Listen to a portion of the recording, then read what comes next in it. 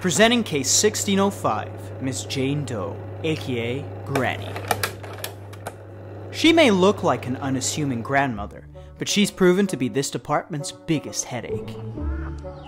Following the death of her husband and partner in crime, known only as Grandpa, it seems that Miss Granny has taken to gardening in her free time.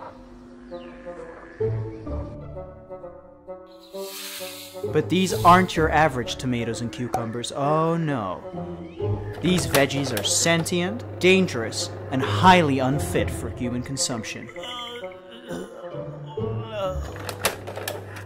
Granny's still at large, and it's our duty to stop her and her illegal harvest.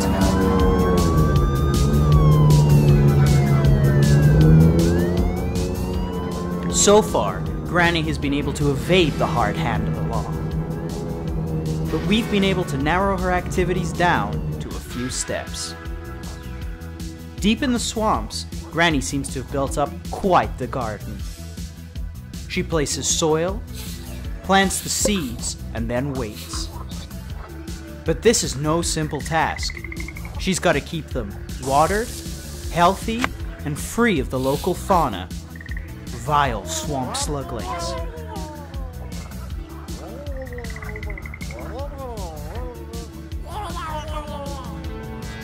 The better they're taken care of, the bigger they get. Now each plant has a specific function. Some protect the garden, others water it. Some need to be replanted constantly, and some are just, well... Hmm. Whenever she runs out of water, she just gets it back from the swamp. That old lady don't give a damn.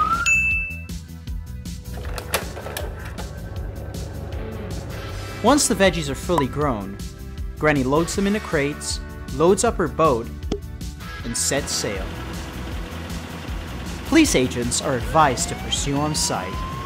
Even if we can't book her, at least we can knock some of those crates into the water. Eventually, she arrives at her contact, the trafficker. She then loads up the veggies and off she goes. Now, the trafficker likes to stay on the move, so as soon as he's got the cargo, he moves on to the next location.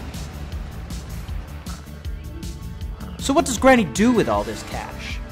Hidden in the swamps is an accomplice of Granny, known to the Bureau by the name of Boomer. Boomer has been supplying Granny with seeds, soil, crates, and all kinds of contraptions.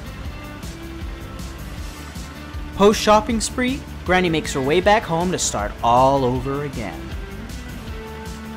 And again, and again, and again.